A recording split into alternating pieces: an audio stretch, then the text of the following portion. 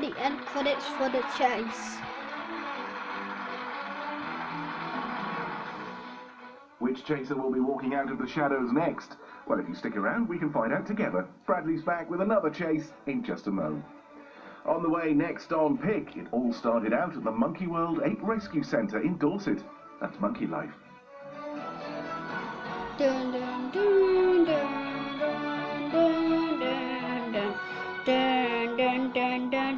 dun, dun, dun, dun, dun,